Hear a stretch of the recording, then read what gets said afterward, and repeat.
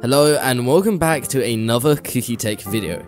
And a video you're probably not used to seeing is a video that's on my phone. So here we are on my phone, on my favorite alt account, Cookie Tech Pro, and today I'm going to be showing you on how you can add a brand new Roblox feature called Captures into your Roblox game.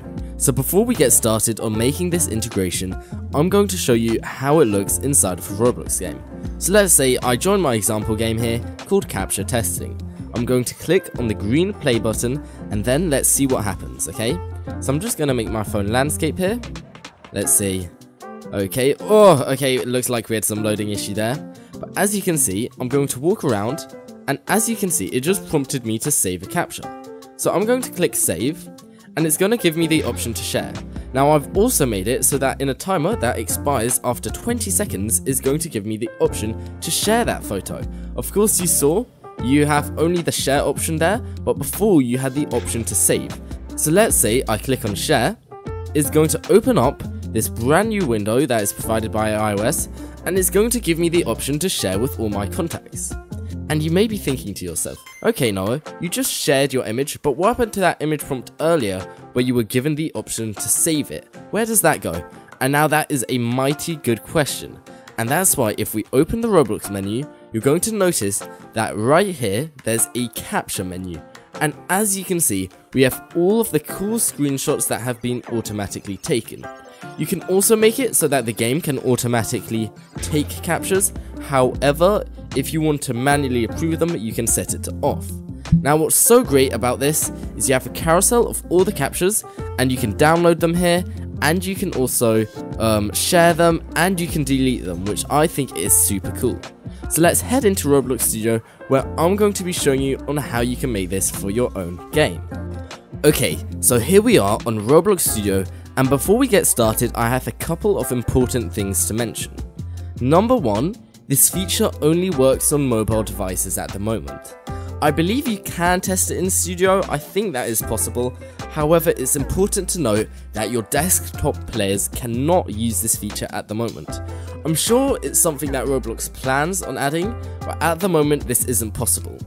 And in and in addition to this, the account that's using captures must be 13 plus. I'm not sure why, but it is a certain requirement by Roblox. So now that that's out the way, let's prepare to make our code. So first of all, it's super important that we make this as a local script, okay? So we're going to head over to starter GUI, click on plus, and then create a local script. Now the reason we're doing it as a local script is because the user is going to be able to share it and save it to their own device. As the server, we obviously can't dish out and take screenshots of what the client is seeing, as we are the server and we can only see what the server sees. So first of all, we're going to have to define our capture service. And our capture service is responsible for pretty much everything related to saving the image, sharing the image, and taking the screenshot. So let's begin by importing it and uh, defining our variable. So let's first of all define our variable, local, oopsies, local capture service equals, and then let's initialize it by getting game colon get service capture service. Now in addition to this, there may be a couple of things we want to customize when our capture service takes a photo. So let's just import the local GUI service, or the GUI service, sorry, local GUI service equals, and then game get service, and then GUI service. Now we can get a screenshot HUD from the GUI service and customize some of the properties. So let's say local screenshot HUD HUD equals GUI service wait for child screenshot HUD. Now the screenshot HUD has a couple of parameters that we can change in order to suit our needs. So let's say for example we wanted to change what the player can see in the screenshot. So let's say for example we wanted to hide all of the GUI on our player's screen. So let's just say as for example they had a screen GUI inside of my game and there was a frame over here and another frame over there. Let's say we had these permanently there but when we take a screenshot we don't want them to be visible. We can just say screenshot HUD hide player GUI for captures. Uh, whoopsies, I made a typo. Screenshot HUD hide player GUI for captures equals true. And this means that those frames that we had previously would not be visible if this was enabled. Also, as you know, let's just head into the game right now, and as you know, Roblox has a HUD, and that's this thing up here, and sometimes we might want to be able to hide that. And that, once again, is also super easy. We can just say screenshot HUD dot hide core GUI for captures, and then we can set this to true. And that would hide the core GUI and also hide the player GUI. So let's experiment with that a bit later.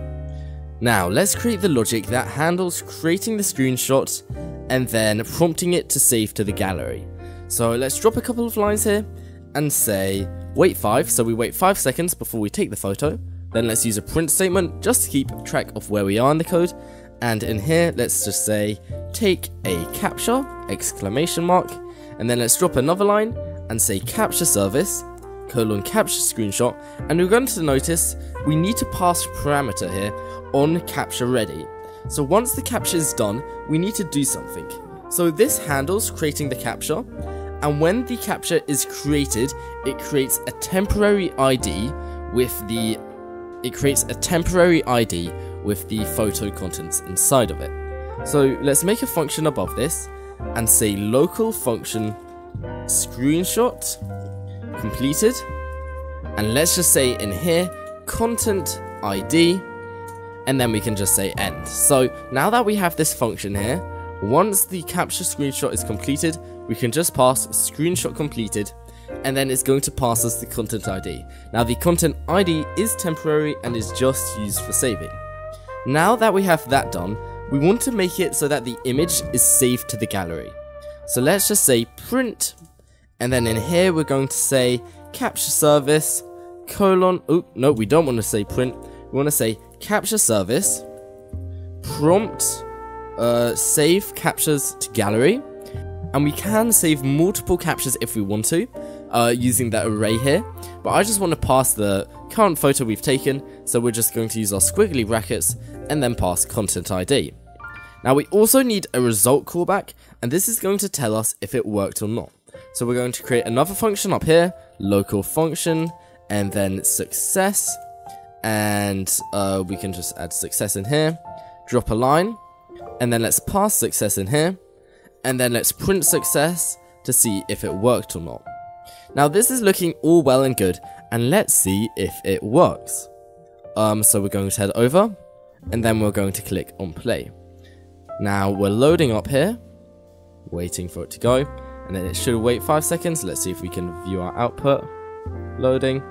Okay, and it asks us, do we want to save our capture? We can either click no thanks. And as you can see, when we click no thanks, this is the success parameter that was given to us, and it provides the temporary content ID, and I believe it says false because we clicked no thanks, and if we click yes, I believe that should be set to true. So let's give it another go.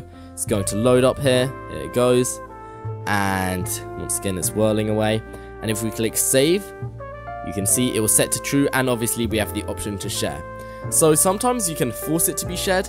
But when it is set to prompt save captures to gallery, after you've saved it to the gallery, it does give you the option to share. But of course, we can also make it so that they have to share and that it won't save to the gallery.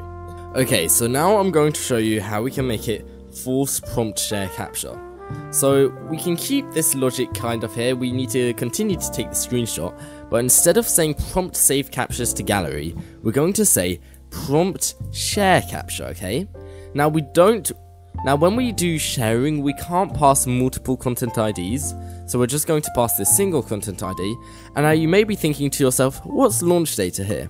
Now if we head over to this post on the dev forum called developer deep linking, you can see all about it, essentially how when you create a Roblox link you can pass some data that is sent when the game is launched. That's a bit out of our scope for this tutorial, so we won't be covering this in today's video, however, I think if you do take a look at this, it can be pretty simple and you can see why we need this.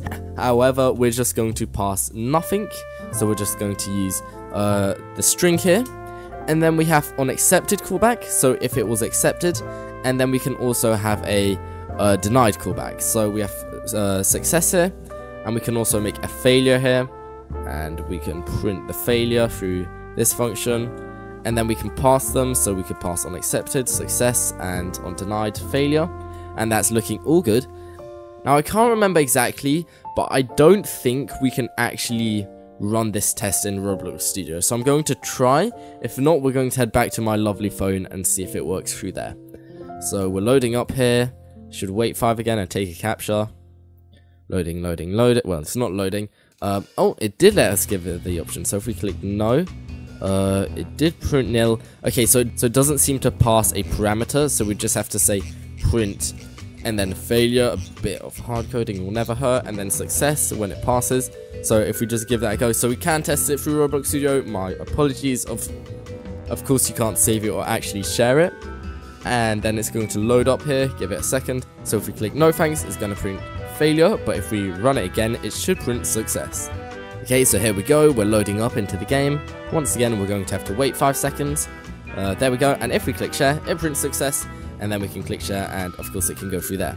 So thank you so much for tuning in to today's video. I hope this helped you and if you want to support me, talk about Roblox or anything like that, head over to our wonderful uh, head over to our wonderful forum on forums.thecookie.dev, which will take you to this wonderful website where you can talk about Roblox, ask for help with your scripts, and do anything. So thank you for tuning in again, that's all from me, and bye bye.